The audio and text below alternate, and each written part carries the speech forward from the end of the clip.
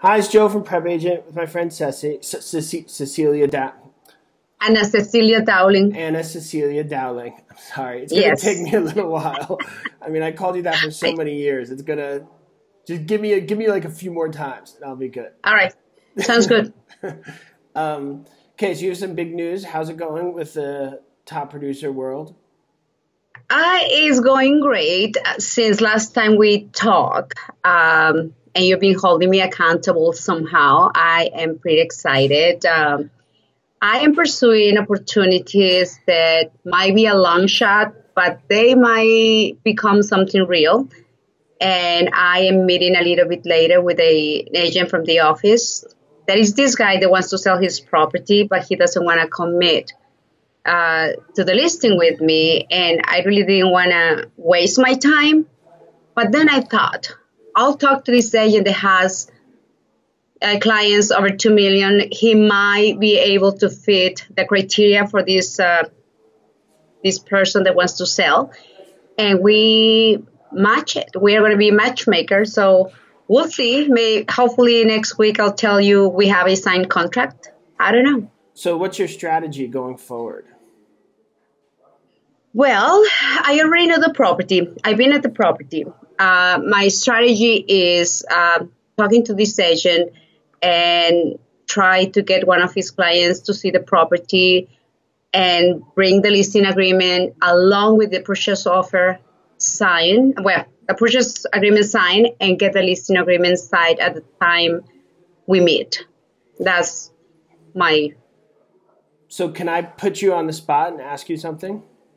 Sure. So one thing we talked about before was as a top producer who does a lot of deals, you rely on referrals and things are going. But the danger of doing that is you get caught up in the moment. And then when things die down, you're like, okay, where's the next deal coming from? Because you're used to right. referrals coming in.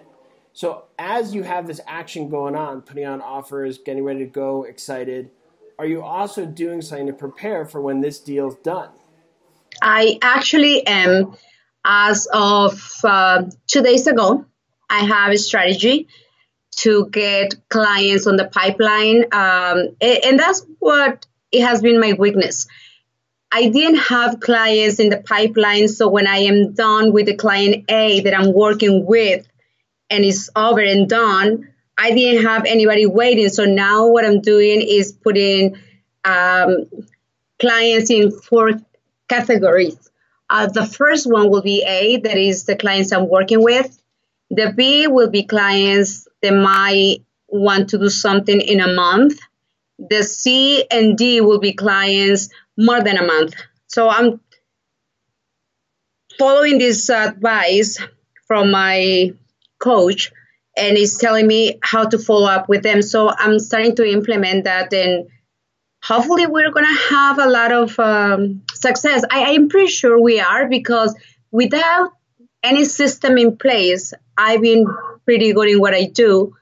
Imagine if I have this going on and kind of for the first time is something click.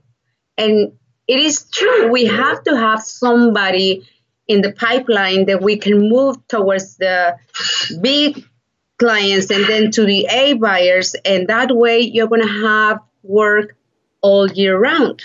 Because I imagine it's difficult when you're working with an A to remember the D's.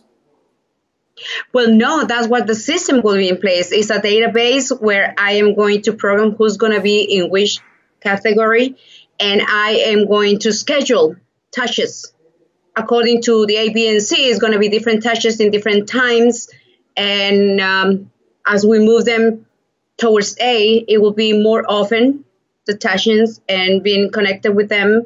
And um, just put it this way last year, last year, I wrote a thank you note to one of my clients that he's amazing. Um, and that client gave me two listings.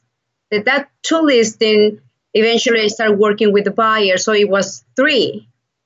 And now the buyer is selling again and he's going to buy something else. So the power of being grateful to people that are in your life, it is great. And I'm trying to tap, let me rephrase it. I am going to tap in every single aspect of real estate right now, being grateful to my clients, even though I think might be a long shot, I'm still going to pursue it. Worst case scenario, I'm going to get a no. I already have a no, so I might get a yes. Yes. So that's what I'm. I don't know. I'm pretty excited. Should be. So, what do you mean by the touches? Like you mentioned touches with the D's and the A's and the B's and C's. On the C, yeah, the, on the CRM, uh, my database, as I put them on client A, client B, client C, client D, the client A, I'm not going to be touching them by email or phone because I, well, I'm working currently with them. Yeah. So I don't need to be emailing them. So clients B, since they might be ready in a month, I'm going to be touching them per se um, the first week of the month. And the clients uh, C and D might be touching them on the third week of the month constantly. For a year if you wanted to, or as long as you know that they're moving towards being A. So, when you say touching, you mean like an email? Well, the CRM has uh, will be emailing them on days that you program. It could be holidays, it could be birthdays, it could be an event, wedding, divorce, who knows. Um, and then follow following up after that touch with a phone call, maybe inviting them to have a cup of coffee. That's what is working for me. Meeting my clients face to face and going for a cup of coffee for lunch that's really working so i don't know i'm excited to incorporate the things that i haven't done before like having a database with uh, what with what is working for me that is being face to face with my clients it sounds like when i hear you keeping in touch with your clients is the same skills you use to make friends and maintain relationships in your personal life it is. Imagine if you haven't seen uh, um, your friend in so long, it's better to keep in touch constantly. So you have to remind them five, six, seven times that you are a realtor. They might not remember, even though they're your friends or they're your neighbors. And that's what I learned because uh, my neighbor put her home for sale. And I went to see her and I said, Did you forget I am a realtor? And she says, You know what? I did. And I was my fault. I should have been in touch. She did let me know she was going to sell in a year or so. And I just didn't do anything about it. I guess the lesson I want people to take from this, the lesson I'm hearing, is people get scared with real estate for many reasons, as you know. But a lot of the skills people have in their personal life in maintaining relationships, maintaining friendships, getting yourself out there, the skills you learn when you're a kid all the way growing up, you could apply to be successful in what you're doing now. Because a lot of what you're saying is, like, first thing you said is do something nice for somebody, check in, see how they are. You know, say Merry Christmas, Happy Birthday, Happy Hanukkah, whatever their thing is. Say hello to a neighbor. And in that conversation, mention your realtor. But before you mention your realtor, you were simply just saying hello. Yes, absolutely. So, and that's basically it. So you have their best interests, uh, and they will have eventually your best interests at heart. What I mean by that is when they hear somebody, oh, my friend is selling, oh, my friend is buying, oh, you know what? I have a friend. Let me refer you to her. I mean, they will keep you in mind because you are somehow touching them in their life constantly.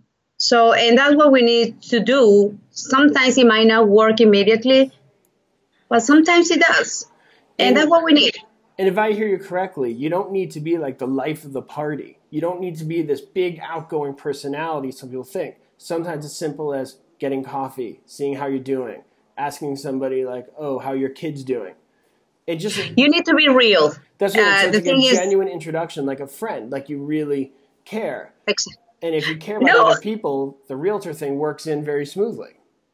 And you have to really care genuinely, otherwise they will see through you and you might have a transaction but not a career. And I want a career. I want them to think of me as a realtor. I've been lucky enough to have people in my life for 10 years. They have bought houses, liquor stores, and eventually they refer me friends. I mean, it's nothing better that they trust you and they said, "Oh, she'll take care of you." Oh, don't worry, I know her. I mean, you can't repay that with anything but being trustworthy. So, so would you say the way to build a good real estate career is just very simply think of others first? Remember the golden rule treat others as you want to be treated. Be honest with other people. Have the best interests at heart. They are trusting you with their most precious information, financial information. Don't abuse it. Use it for good, and they will repay. They will be loyal to you.